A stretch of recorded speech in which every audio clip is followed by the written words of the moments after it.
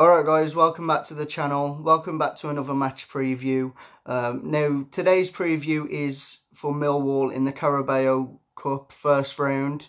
Now, obviously we just played Millwall on Saturday. Dave did a preview on Millwall on Friday. So not a lot's really changed um, in terms of a preview for them. There's not really a lot what I can say about them, to be honest with you. It's going to be pretty difficult. But obviously we played them in our first game at the Hawthorns on Saturday, uh, which was really disappointing in my opinion.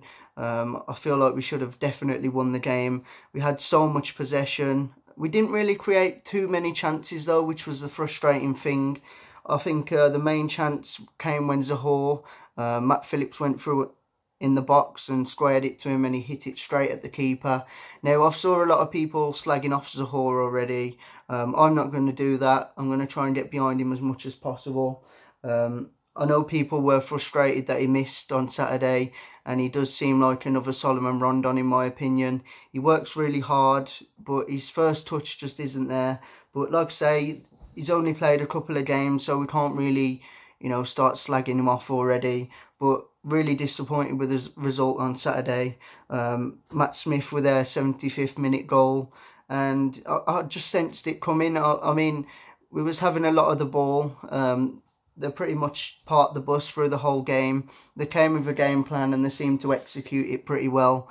Um, they defended for their lives really, and to be honest, a draw they will be delighted with that because we had all the ball. Um, all the chances really. But um, for Tuesday night, I'm not going to be going. Um, Dave will be vlogging this one, uh, but Dave does, does a good job anyway, so I'm sure you won't mind.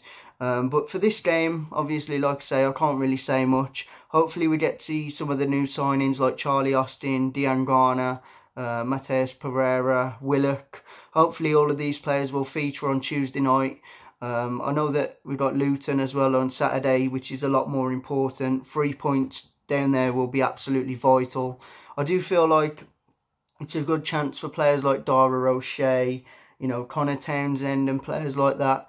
Also Rekeem Harper. And I do feel like this game would have been perfect for the likes of John Leko and Sam Field, but they were on loan at Charlton. Um, I'm not really going to say too much more, guys, but uh, I'm going to go with a score prediction now. I'm going to say 2-1 West Brom. I'm going to say Willock to score. And I'm also going to say Rekeem Harper.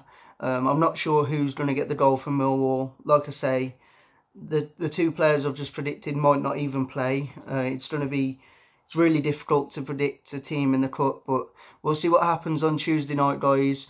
Don't forget to like, comment your score predictions down below and if you haven't subscribed already um, make sure you subscribe. We've just recently hit 3.5k subscribers which is, well we've hit past that now. We're nearly on 3.6k and honestly the support what everyone's been giving us is amazing. Like the channel's been growing so much and me and Dave really appreciate it. But until the next video hope you enjoyed it. See you later guys